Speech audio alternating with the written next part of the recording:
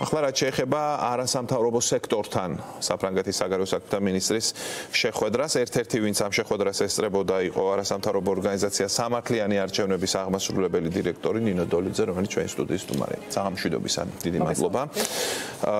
თვალში საცემია რომ ძალიან მაღალი დონის ვიზიტებია საქართველოსში ბოლო პერიოდში. საზღვრებს გარეთ ძალიან მაღალ დონეზე კეთდება განცხადებები საქართველოს შესახებ. ეს მიანიშნებს იმაზე რომ დიდია ინტერესი ჩვენი ქვეყნის მიმართ მიმართ, რომელიც კანდიდატის სტატუსს ელოდება. რა შტაბეჭდება დაგრჩათ ამ შეხვედრიდან? ძირითადად საკითხები რითიც დაინტერესებული იყო ფრანგი დიპლომატი.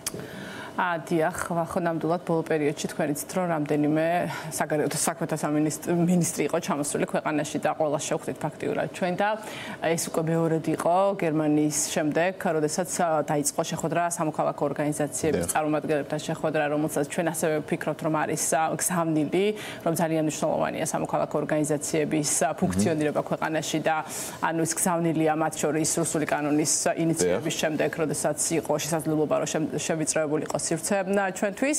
ამიტომ ესეც ერთ-ერთი ნამდვილად კარგი გზავნილი იყო. ეხლა რაც შეეხება უშუალოდ შეხვედრას, შეხვედრაზე იცით რომ მათი ინტერესი ყოველთვის არის ქვეყანაში არსებული რეალობა და ჩვენი მხრიდან ელოდებიან ხოლმე. თუმცა რა თქმა უნდა შეკითხვები რა მიმართულებითაც დაისვა, მიხვდებით რომ ეს იყო ინტერესი. შეკითხვები იყო მინისტრის მხრიდან ძირითადად. მინისტრის მხრიდან იყო შეკითხვები ძირითადად რეკომენდაციების. იქით მინისტრის მიმართ შეკითხვები, ეს ფორმატი არ ითვალისწინებდა ამას. კი, რა თქმა უნდა, მაგრამ ზოგადად ეს ხდება ხოლმე რომ ჩვენ ვეუბნებით ვეუბნებით რა მდგომარეობაა ქვეყანაში და შემდეგ ისინი ჩაკითხვის მეთოდით რაღაცა გვეკითხებიან ხოლმე. ეხლა რაც გამოიკვეთა იყო ის, რომ როგორც სხვა წარმომადგენლები ევროკავშირის აქაც იყო რომ ინტერესი საქართველოს მიმართ არის ძალიან მაღალი, ის რომ საქართველოსთვის ღია კარი ეს არაერთხელ ახსენა, თუმცა ბევრჯერ ახსენა 12 პრიორიტეტის რეკომენდაციის შესრულება. ცალსახად მიანიშნა რომ რა თქმა უნდა ჩვენ გვინდა რომ თქვენ იყოთ ჩვენი წევრი და ინტეგრაცია გაგრძელდეს, მაგრამ ძალიან მნიშვნელოვანია მათთვის ის რომ ის პრიორიტეტი რომელიც გამოყოფილია საქართველოსთვის იყო შესრულებული.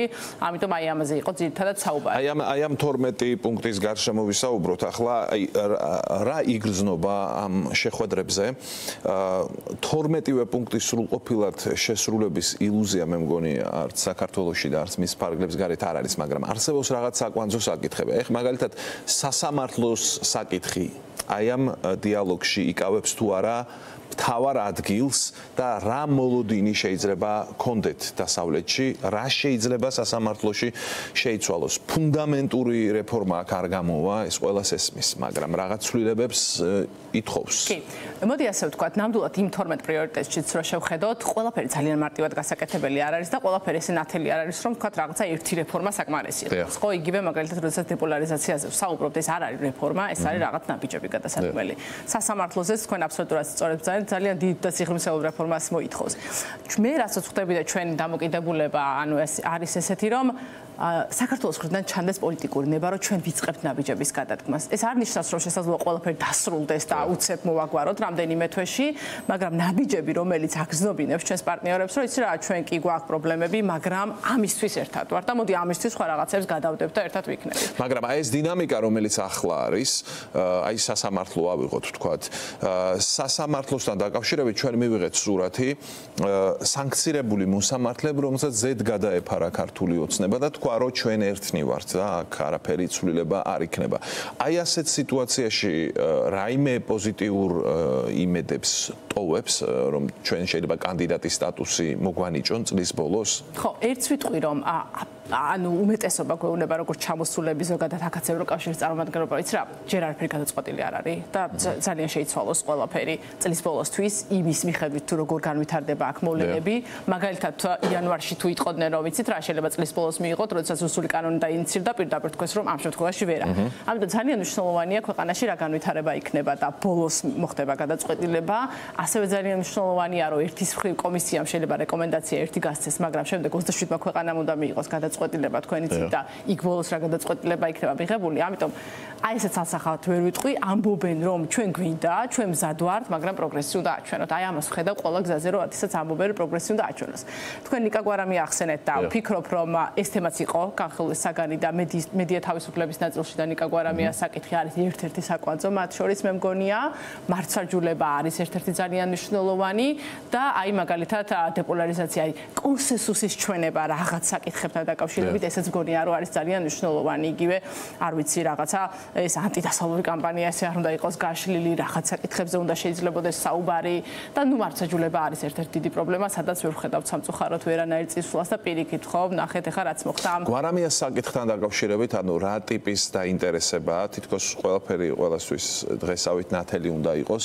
აი ამ დიალოგში როგორ იდგა გვარამიას საკითხი? რომ აი რაიმე დამატებით არგუმენტებს ითხოვდა მაგალითად საფრანგეთის საგარეო საქმეთა მინისტრი რატომ უნდა იყოს გათავისუფლებული გვარამია? არა სხვათა შორის დამატებითი არგუმენტი არ მოუთხოვია, თითქოს თითქოს მისთვის ნათელი იყო ეს საკითხი თავიდან ბოლომდე და იცოდა გარკვეული იყო, ამიტომ როდესაც ამ საკითხს შევეხეთ, ფაქტიურად შეიძლება ითქვას, რომ ხო იცოდა რომ ეს საკითხი არის ერთ-ერთი საკვანძო და ამის მოგვარება შეიძლება ჩაითვალა ამის ასე ვთქვათ მოგვარება იქნებოდა ერთ-ერთი რეკომენდაციის ვთქვათ შესრულება ან რაღაც ნაბიჯის გადატკვა, ხო?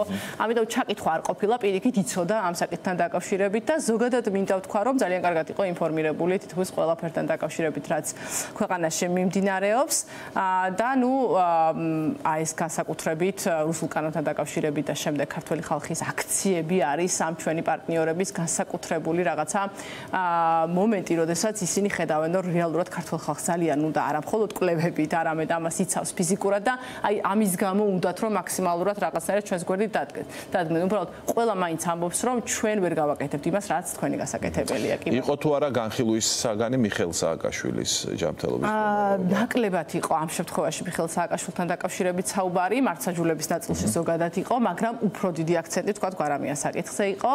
ასევე ბუნებრივია პოლონეთ პოლონეთის შემთხვევაში განსხვავებულად იყო და ეს აბსოლუტურად ახსნა მისი მარტივი, იმიტომ რომ პოლონეთი აქტიურია სააკაშვილის საკითხში. აქ საფრანგეთის შემთხვევაში პირველ ხარისხოვანი საკითხი იყო როგორც ჩანს. უფრო იყო მართსაჯულება როგორც ასეთი ზოგადად საკითხი, მათ შორის დეზინფორმაციაზე იყო შეკითხვა და დაინტერესება მისი მხრიდან რომ ეს ანტიდასავლური კამპანია თუ რაღაცა დისკრედიტაციის კამპანიები და ეს არის მხოლოდ გარედან შემოსული თუ ქვეყნის შიგნითაც ესე არის შიდა დეზინფორმაცია და შიდა დისკრედიტაციის კამპანიები არჩევნები შემდეგი წლის იყო ერთ-ერთი ასევე საინტერესო საგანი მისთვის. აი ამ 12 რეკომენდაციიდან ის საკითხები, რომლებიც რეალურად არის დაკავშირებული პოლიტიკურ ძალაუფლებასთან და რომელთა გადადგმაც ნაბიჯების გადადგმა რომელთა მიმართულებითაც იქნებოდა რეალურად რაღაც რა შტაბეჭდილება გრჩება თქვენ ამ შეხვედრებიდან ხელისუფლება საქართველოს ხელისუფლება მათ მიერ აღქმულია როგორც პარტნიორი თუ უფრო შეშფოთებას ახლავს მათ ვიზიტებს აქ რომ აი საქართველოს დაეხმარონ და დახმარებაში იგულისხმება ის, რომ ხელისუფლება უქმნის პრობლემას თავის საზოგადოებას. აი რა იგრძნობა აი ამ შეხვედრებიდან თქვენი პირადი შტაბეჭდილება როგორია? ხო, ну იცით რა საერთაშორისო ურთიერთობები და ცხადია პარტნიორადაც თვლიან ალბათ, იცით რა შეხვედრები ეს არის, თუმცა ის რომ პრობლემას ქმნის ხელისუფლება ამ 12 პრიორიტეტის შესრულებაზე ეს რა თქმა უნდა იციან. ანუ ეს ჩანს შეხვედრებიდან რომ იციან რომ რაღაც საკითხები არის ნამდვილად ხელისუფლების გადასაჭრელი და არაკეთებენ, ან პირიქით შესაძლოა აფუჭებდნენ კიდეც იგივე აი ამ კანონთან დაკავშირებით. კი ბატონო და და ბოლო შეკითხვას დაგისვამ შეხვედრის გუშინ ვაშინგტონში საიდანაც ასევე კრიტიკა გაისმა არჩევნები იყო მთავარი თემა, რაზეც შეკითხვები ისმეოდა და პასუხებსაც ელოდებოდნენ სენატორები. აი თქვენ ახსენეთ, რომ საფრანგეთის საგარეო საქმეთა მინისტრიც დაინტერესდა აი ამ არჩევნების თემით. აი კონკრეტულად რა კონტექსტში დაინტერესდა, შეგიძლიათ გითხრათ, აი არჩევნები რა კონტექსტში იყო განხილული აი თქვენს შეხვედრას? ხო, აი როგორ ტარდება არჩევნები და თქვათ რამდენად მნიშვნელოვანია შემდეგი საპარლამენტო არჩევნები, რომელიც შემდეგ წელს იქნება და ამისთვის თავისუფალი და სამართლიანი გარემოს უზრუნველყოფა, იმიტომ რომ ყველამ ძალიან კარგად იცის რომ დღეს მიმდინარე პროცესები ერთის მხრივ კანდიდატის სტატუსთან არის დაკავშირებული, მაგრამ ცხადია ასევე დაკავშირებულია შემდეგი წლის არჩევნებთან, მათ შორის ხელისუფლების მხრიდან რაღაც ალაუფლების შენარჩუნებასთან, ოპოზიციის მხრიდან ბრძოლასთან, ამიტომ არჩევნებიც არის ერთ-ერთი ძირითადი საკითხი, როდესაც 12 პუნქტი შესრულება არა მხოლოდ რეფორმის ნაწილი, არამედ ზოგადად არჩევნების ჩატარების ხარისხი. იგივე რამდენად თავისუფალი და სამართლიანი გარემო იქნება სამოქალაქო ორგანიზაციებისთვის, რომ დააკვირდნენ არჩევნებს და ასე შემდეგ. ძალიან დიდი მადლობა და მნიშვნელოვანი ჟესტი ტექსტი იყო ის, რომ სამოქალაქო საზოგადოებასთან შეხვედრა მან მოისურვა და სხვა შორის პრესკონფერენციაზე ბრიფინგზე, რომელიც გამართა ქართულ მის ქართულ კოლეგასთან ერთად, მან ახსენა იქაც არასამთავრობო სექტორი, როგორც უმნიშვნელოვანესი კომპონენტი დემოკრატიული საზოგადოების. დიდი მადლობა გადაცემაში მონაწილეობისთვის ნინო დოლიძე, არასამთავრობო ორგანიზაცია სამართლიანი არჩევნების აღმასრულებელი დირექტორი იყო ჩვენთან სტუდიაში.